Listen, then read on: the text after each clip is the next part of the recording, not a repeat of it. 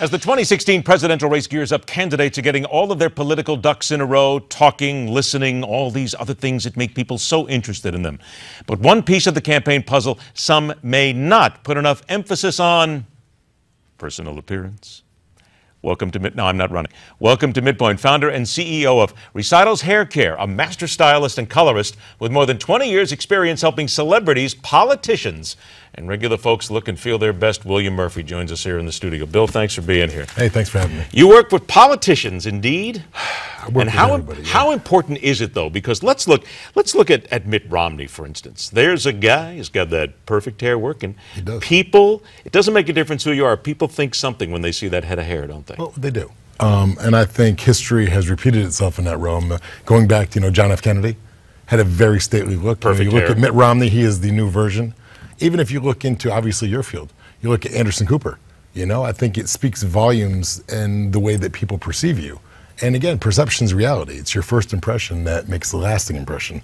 So I think, you know, some of these candidates out there look great, and some of them, well, the opposite is true. There you go. Uh, let's look at a couple of examples. Hillary Clinton. What's your example when you see Mrs. Clinton? Wow, you know, um, I, I that was bad. yes, I, I think the way that I've explained it in the past, and you know, I've been called on very recently to you know appro- approach these topics, um, was she looks like a thrift store person, like a candidate almost.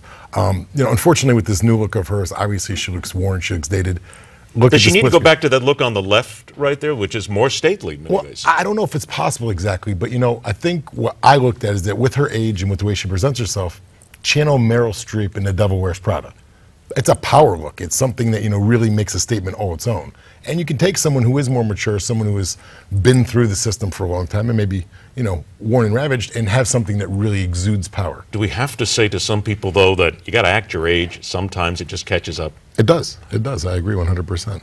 You know, and I think that goes with some of the other candidates on the market, specifically the men. You know, I think that a lot of times guys think they can get away with um, nothing. You take Ted Cruz as an example. Um, I referred to him as a supercuts guy. You know? I mean, just look at the face. You know, it, it doesn't exude the confidence. Put Mitt Romney's split screen with that, and you'd go, "Wow, I couldn't even believe." But that why do we put so much emphasis, though, in the hair? What does it do? I think of the beauty industry. It's a trillion dollar a year business. I mean, everybody wants to look younger, better. You know, I mean, it's it's the age of maximizing what you have and exuding your youth. And uh, I guess what people see is what they believe. All right, let's let's look at another. Okay, so we're looking at the, the candidates right here. Uh, Carly Fiorina, who is in the upper right, right there, she would seem to have that that stately businesswoman sort of look. She did, and I, I think Did. did. I mean, this is probably a better picture of her, but you know, she has very very fine hair.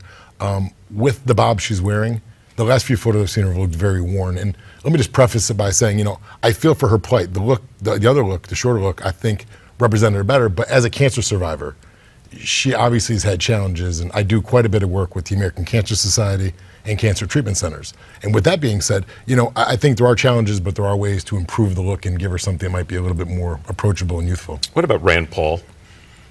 I mean, he looks like a frat boy to me. You know, he's got the curly stuff on top. I mean, there's a variety of products and things on the market you can use to control that hair. And he just looks a little goofy looking. I mean, I don't think it's even symmetrical. I mean, you know, you look at a man, you look at Kennedy, and he's got this jawline, you know, whether you're the father or the son.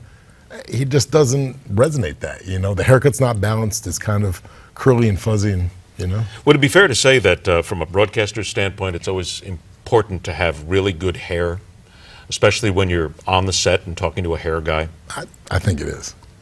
I, th- I think you're hitting it. So, I mean, You, uh, you think so? absolutely. You think you think it's got it, and it's all real, by the way. Isn't that important too to make sure that none of it has been artificially enhanced? I, I I think that, you know, you're 100% correct in that, but I think, you know, we do the best with what we have, you know? But you would say that that some people are really blessed with a great head of hair. You are. Yeah, ab- absolutely. Okay. I- I- 100%. I, wanted to make sure that came out here because very few are, and I wanted to make sure that, that I got that because No. I got that on tape, just in case you're wondering now. it is important. Bill, thanks so much for coming in. Listen, Thank you for your we got to get you with some of these people because you're right. Some of the hair looks bad. I agree. We got to get you with that. All right. See, we're getting ready for 2016 and everything. It's all about image. Real. Join me as we begin a new direction here on Midpoint with Telling It Like It Is, the generation that deserves our close attention, and we have the name for them. Telling It Like It Is is next.